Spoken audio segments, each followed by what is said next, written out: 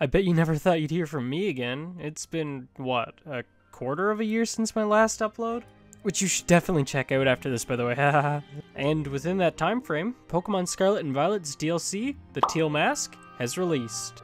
I was surprised at how much of an enjoyable time I had with this new expansion to the game, with one of my favorite additions to the franchise this DLC brings with it being this little fucker.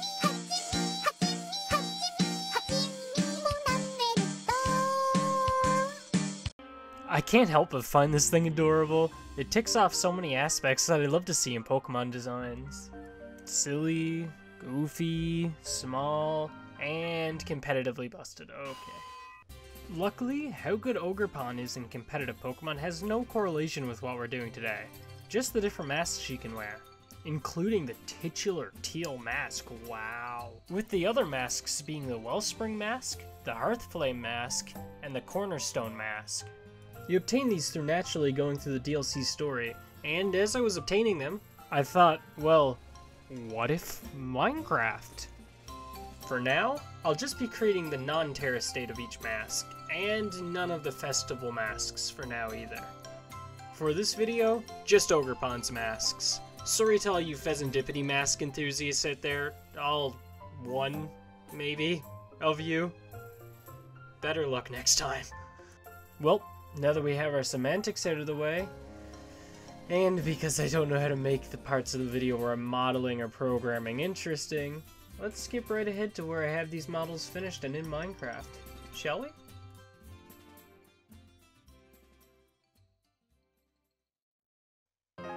Okay, fellas, are you ready to see the first mask? Yay or nay? Leave a like on the video for yes. Leave a dis- Okay, screw this. Let's have a look. Yeah, the teal mask. Oh my god, I love how this came out. I am so happy with this.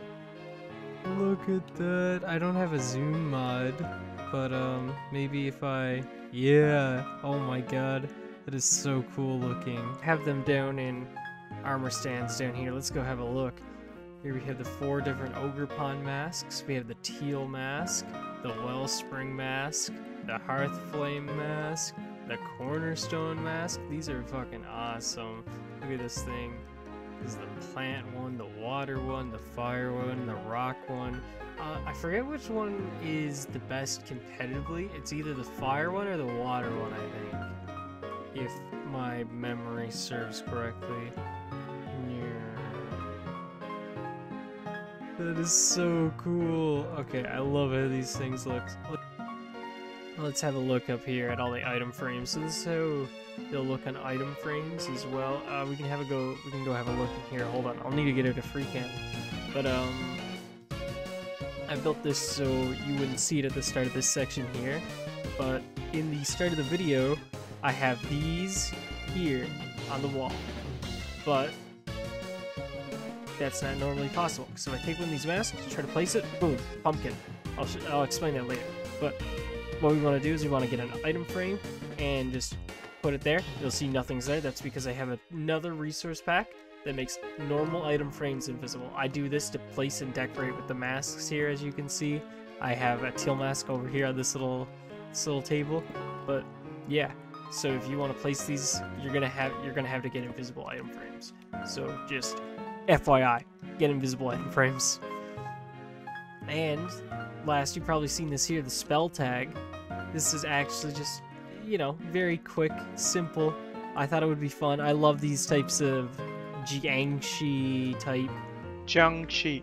Oh. It's under the hair layer, this one is. I guess that's intentional, but it doesn't really work too well on the Okayu skin, no. I'll have a look at all of the different masks on as well. Let's see. We already seen the teal mask. Let's see the wellspring mask. This, this, you know what? This one's really cute, actually. I, I, I like this one now that I'm wearing it. I was sleeping on it before, but now that, now that I'm wearing it, I like this one. I like the size. I like, I, I like the size. I think it fits. The size and the shape go well together. This one's a bit smaller than the rest of them, I think.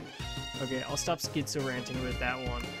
Uh, let's look at this one. This is the Hearthflame mask. This one's pretty cool. Ooh, this one's a little bit big though. Like the forehead, the forehead looks huge. I think that might be what it is. I think it might be the forehead that's throwing me off from this one. Just a huge, massive forehead.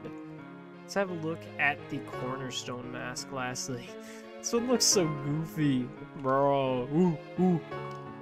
This is like a what's his name?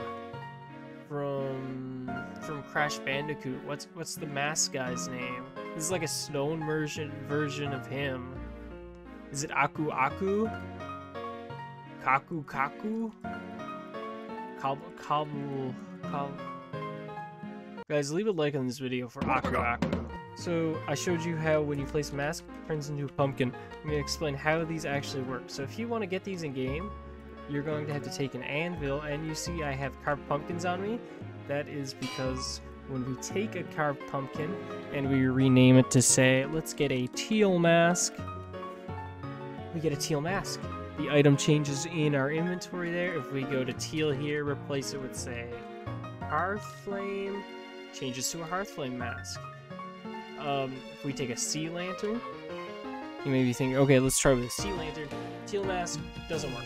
The way this works is it checks for specifically carved pumpkins, it checks the ID of the name, and if it's, say, a teal mask, it makes the model the teal mask. And then we can wear it because it's a carved pumpkin, there's no blur, and this is awesome.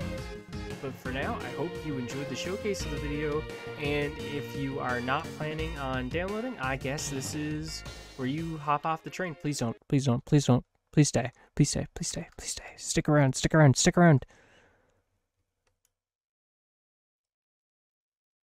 Okay, back to the video.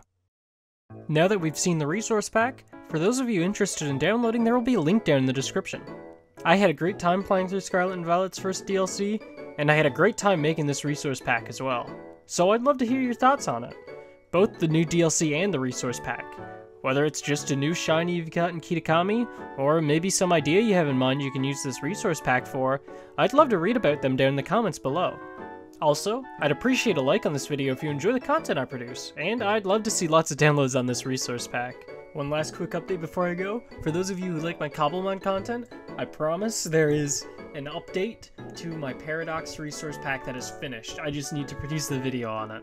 So once that's done, expect that soon.